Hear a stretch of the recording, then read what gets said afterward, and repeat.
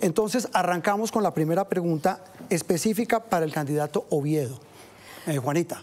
No, Ah, está... eh, María Alejandra. Voy yo. Em, usted tenía diferencias estructurales con el uribismo, si usted las tenía, como lo ha expresado en una entrevista hace poco, dijo que el mm, exministro de Hacienda, Carrasquilla, Alberto Carrasquilla, le parecía un crack por su manejo de las finanzas públicas con la reforma tributaria, el aumento del IVA a la canasta familiar, empujando todo lo que ya sabemos Falso. que significó eso del Falso. estallido social.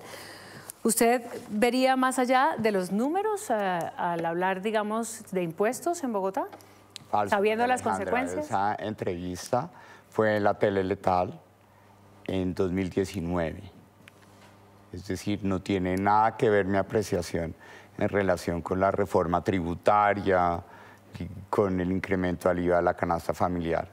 Era una posición que expresé públicamente en la tele letal en 2019, antes de que sucediera Después del Pero tengo, después del tengo mala fecha, de acuerdo. Entonces se la acepto y les- le presento excusas por decir que eso es de unos días, pero la pregunta eh, va hacia la- el enfoque que usted tendría de si pondría por encima la recolección de los impuestos, digamos, el pago de los impuestos, para decidir asuntos, por ejemplo, como un estallido social como el que ya vimos, como el manejo de una marcha, como el mm, motivo de creación de, de esa insatisfacción. Es decir, que si estaría de acuerdo con un estallido social por una reforma tributaria. No, que si usted vería más allá de las cifras a la hora de poner una reforma tributaria, porque Yo creo- yo- Carrasquilla, yo creo- que le parece a usted un crack, Para evitar el estallido cifras. social. Yo creo que hoy en día el mismo Es presidente más fácil, se Gustavo tendría Petro, de poner un impuesto para evitar un estallido social, es básicamente eso. yo, yo creo que el mismo gobierno del presidente Gustavo Petro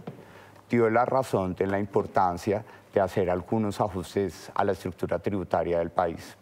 Creo que esa estructura tributaria todavía tiene unos desafíos muy importantes. Obviamente como alcalde no tendré la competencia para emitir juicios alrededor de ese tema, pero sí como analista económico soy consciente que el país tiene una sobrecarga tributaria en las empresas y todavía hay una gran cantidad de personas naturales quienes podrían potencialmente ser contribuyentes y mejorar a que el sistema tributario sea más progresivo en el país. Por consiguiente, creo que hay que tomar decisiones a partir de las cifras, pero reconocer el contexto y sobre todo escuchar cuáles son las necesidades sociales, las necesidades ambientales y sobre todo los desafíos en materia de generación de empleo que tiene el país en el momento en el que se hable de una reforma tributaria.